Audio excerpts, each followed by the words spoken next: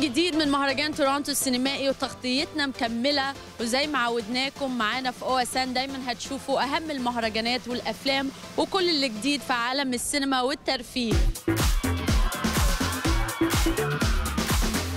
النهارده الكل مستني يشوف العرض الأول لفيلم التشويق ويدوز الفيلم من بطولة نجوم كتير منهم فايولا ديفيس وليام نيسون كولين فيرل ودانيال كلويا working with this wonderful cast, so much talent, and of course the director Steve. Tell us about the experience.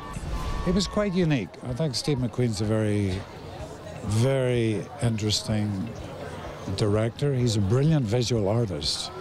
I think Gillian had written a, a wonderful script, and it's a very intelligent thriller. And it's great to see girls kicking.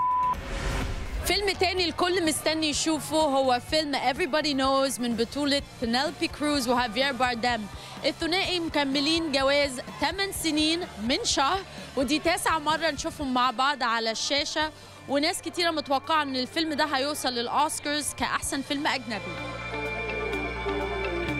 We see you in this movie going from extreme happiness to extreme distraught. Tell me how going through that transition was for you.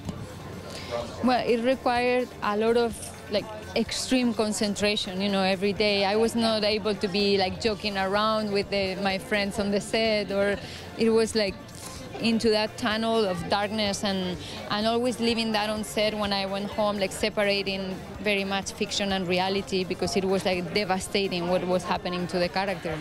And then working with your husband every time on the set for some new project, how do you bring that kind of new energy to the movie? We don't plan to do it every year, but once in a while I think it's like, why not? جوليا روبرتس وصلت تورونتو النهارده عشان تحضر الورلد بريمير لفيلمها Ben is Back.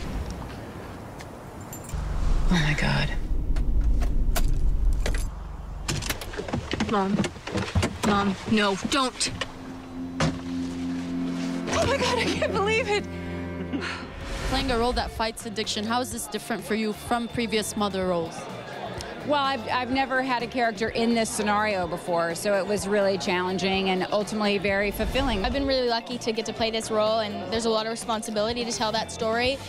But as an actor, I just tried to tell it truthfully. Why did you decide to pick this topic? I mainly, I really loved the idea of a mother who was willing to go anywhere and do anything um, in, in support of her son, to save her son. And I felt like that was really relatable, and, and there are a lot of moms I know that would do that.